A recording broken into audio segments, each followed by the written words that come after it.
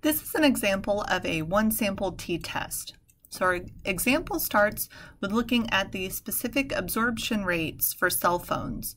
Um, this is a measure of the amount of radio frequency that is absorbed by the user of the cell phone. Uh, and every cell phone emits, you know, a certain amount of energy. Uh, different models obviously have different SAR measurements. Um, so in order to receive certification um, from the FCC, to be sold in the United States, these SRL SAR levels for cell phones must be less than 1.6 watts per kilogram. So to investigate whether or not the average watts per kilogram is less than 1.6, data was collected and we'll conduct a one sample t-test to determine um, the results. So here's a table that displays all of the information for a random sample of 30 different cell phones. So the main question here, does the data suggest that the true mean SAR level for cell phones is in fact less than 1.6 watts per kilogram? So to start, what we need to do is identify the variable of interest and the population. So the first question you should always ask yourself, what is the variable of interest and is it quantitative or categorical? For our example, SAR level is what we're recording on every single cell phone, and it is a numerical measure, so our variable of interest is quantitative. Our next question should be what is the population of interest, and is there only one? In this case, we're trying to generalize to all cell phones. We're asking the question if the mean SAR level is in fact less than 1.6 watts per kilogram, so that is just one single population. Next, we need to assess whether or not we feel the sample is representative of the population. So do we believe that the sample was gathered in such a way that the data represent the population data, uh, which is essentially all cell phones? Now the problem, if I go back into the details, says that a random sample of phones was collected. Uh, since a random sample was collected, we can assume that the sample data rep represent the population data. Uh, in reality, you might want to take a minute to think about how the data was collected and whether or not you feel that it was collected in such a way that we can generalize to that larger population.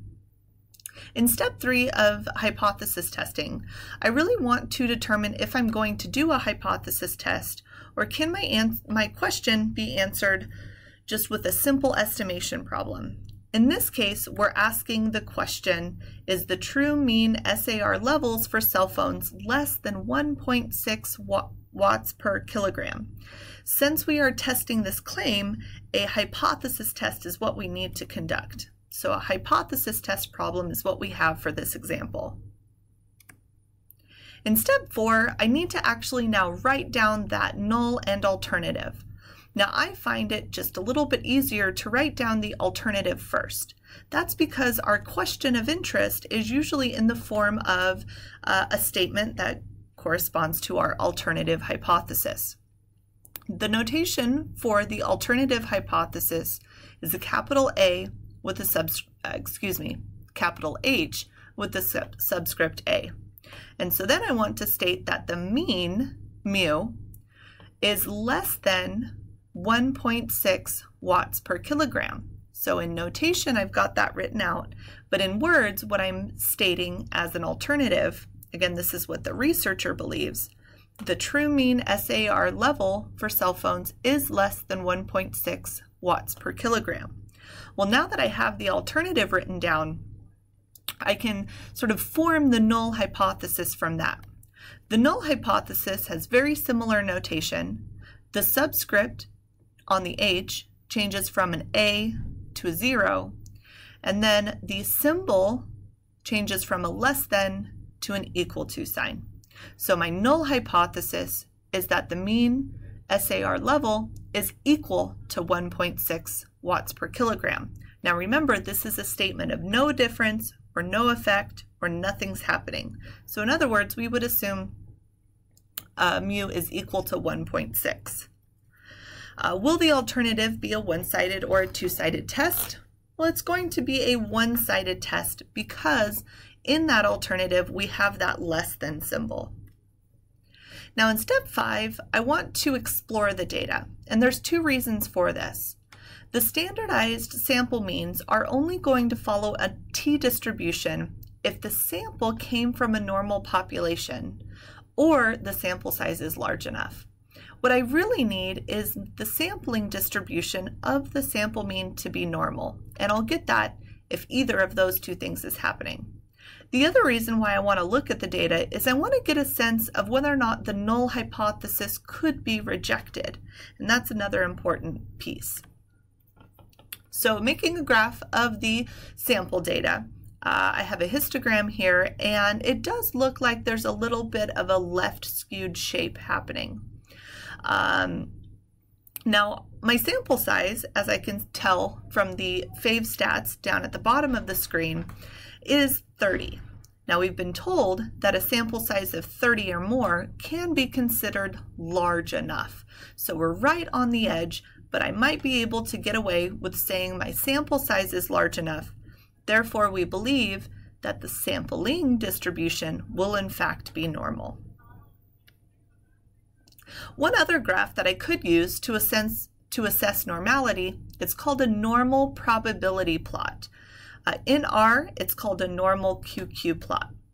Now, to get this plot, uh, it involves two simple lines in R, um, but the important piece is really how to read it. The dots represent uh, the, the data, and the closer the points are to the reference line, the closer the data is to normal. Now the reference line is that diagonal line, and I can see that not many of my points are actually on the line, and there's a bit of an S shape that's occurring. This does indicate that I have a slightly skewed graph, which we could see in the histogram on the previous page. Now because my sample size is 30, I'm not going to worry too much and uh, again, I'm going to say that my sampling distribution is probably normal, which means I can use t-methods. So should t-methods be used for this hypothesis test? I'm going to say my sample looked only slightly skewed, uh, and my sample size was 30, which is right on the edge of being large enough.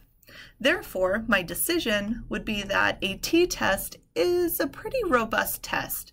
Therefore, a sample size of 30 and a sample that is only slightly skewed, we can feel comfortable using the t method. So I'm going to go ahead and proceed with using those t methods. All right, in step six, I get to determine the p-value. So recall that the sample mean uh, for the data was 0.9904. What values of the sample mean are considered as or more unusual? Now I need to know this because I'm going to have to determine the p-value. This is an important piece. So if I was to draw a number line, which represents the distribution of sample means, on this number line, you draw anywhere the null hypothesized value. Now in this case, it was 1.6 watts per kilogram. Then on this number line, you write down where is the observed sample mean. So it would fall about here or so on the number line. Next is to just recall what the alternative hypothesis looked like.